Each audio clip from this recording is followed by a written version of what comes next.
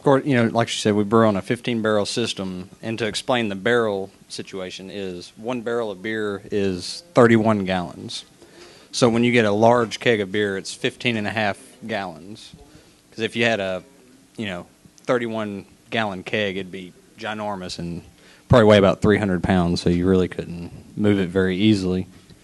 Uh, and then you've also got your six barrel kegs, which are five gallons, a little over five gallons each. Uh, right now, you know, we're steadily busy. Uh, it's actually ramped up a lot. I remember when I initially started at the brewery, we were shipping out truck, you know, the orders for the distributor in the back of a pickup truck that had a lift gate.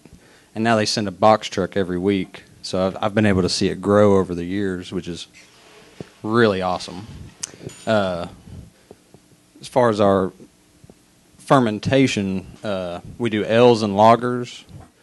You know, we've got the 330 barrel fermenters, which, of course, we brew 15 barrels at a time, so it takes us two batches to fill up a 30 barrel tank and four batches to fill up a 60 barrel tank.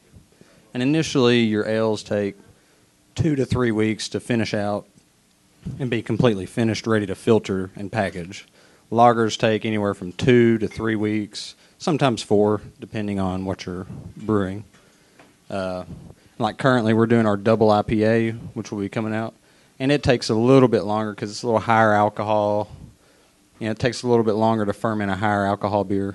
Uh, you know, of course, our old Myers bottling line is very antiquated equipment. It uh, it's kind of like an old hot rod. I like to explain it. You know, runs pretty good, but you got to work on it all the time because it's constantly breaking down. You know, actually, Andy here has seen a lot of that. I think the worst thing we've had happen is we were in the middle of a bottling run, and we have a sight glass that shows the beer coming into the filler, and out of nowhere, this sight glass decides to crack, and beer just spews everywhere.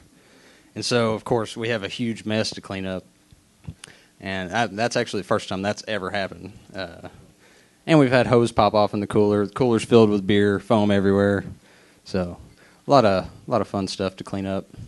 Uh, about I'd say 75 to 85 percent of the brewing process is cleaning. You know, you're constantly cleaning tanks. You know, cleaning your equipment, sanitizing. If you're not sanitizing properly, then you're not really doing a very good job, and you're probably going to end up with infected beer or some type of problem down the road. Uh, as far as our keg washer goes, it was actually most of the parts from it were purchased off eBay, which I think is pretty funny. Uh, you know, it's basically it's ran by PLC. For who whoever doesn't know what that is, it's a programmable logic computer, and basically it has a series of on-off switches, and you just put that into a function, and it turns it you know turns it into a program. So basically, we can set a keg on the keg washer. It'll rinse it, actually purge it from what was in the keg, rinse it, clean it, sterilize it, and then fill it with beer.